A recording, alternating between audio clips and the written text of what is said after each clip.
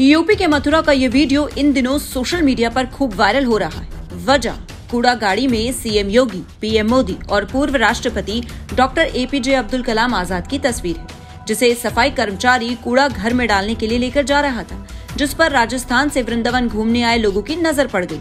तो उन्होंने तुरंत गाड़ी को रोका और उससे तस्वीरों को बाहर निकाला। जी का फ़ोटो और ये मोदी जी का फ़ोटो देखिए ये मोदी जी का फ़ोटो और ये योगी जी का फ़ोटो। कूड़ेदान में? सब कुछ बढ़िया। और ये जो है अरे यार। यार भाई साहब यार। आप ये देखिए हाँ। तो कोई बात ना यार। जो है योगी जी और हमारे जो है राष्ट्र नायक और क्षेत्र नायकों की क्या स्थिति कर रखी है इन्होंने? यूपी सरकार इनकी है यूपी में माननीय मोदी जी योगी जी की सरकार है ये देखो आप। तस्वीर पूरी तरह साफ़ थी लेकिन कूड़ा गाड़ी में होने की वजह से खराब हो गई। तो बिना देर किए एक शख्स ने तस्वीरों को कूड़े से निकाला और साफ़ पानी में दोनों तस्वीरों को धोना शुरू कर दिया। मोदी जी योगी जी का जो कूड़ेदान में जो मिला है वो देखें आप। इनको स्नान ध्यान करा रहे हैं साफ़ कर रहे हैं भाई हमारे। क्या नाम भैया आपका? अमर सिंह जी हैं। और योगी जी की ये देखो आप ये कूड़ेदान में मिला है।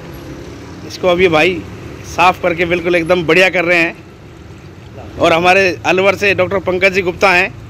वो साफ़ कर रहे हैं नला रहे धुला रहे हैं और वो ले जाएँगे अब इनको। ऐसा माना जा रहा है कि किसी ने घर की साफ़ सफ़ाई के दौरान तस्वीरों को उतार कर कूड़ेदान में फेंक दिया और सफ़ाई कर्मी इन तस्वीरों को कूड़ा गाड़ी में डालकर चल पड़ा, जिस पर इन लोगों की नज़र पड़ गई। हालाँकि बाद में तस्वीरों को धोकर राजस्थान अलवर के रहने वाले डॉक्टर पंकज गुप्ता उन तस्वीरों को अपने साथ ले गए। ज़ाहिर है, देश के पीएम की तस्वीरों का इस तरह अपमान नहीं किया जाना चाहिए। उधर वीडियो वायरल होने के बाद संविदा पर कार्यरत सफ़ाई कर्मी को तत्काल प्रभाव से निलंबित कर दिया गया है। Bureau report, Navdeep today. खबरों की डोज नवदीप टुडे पर हर रोज।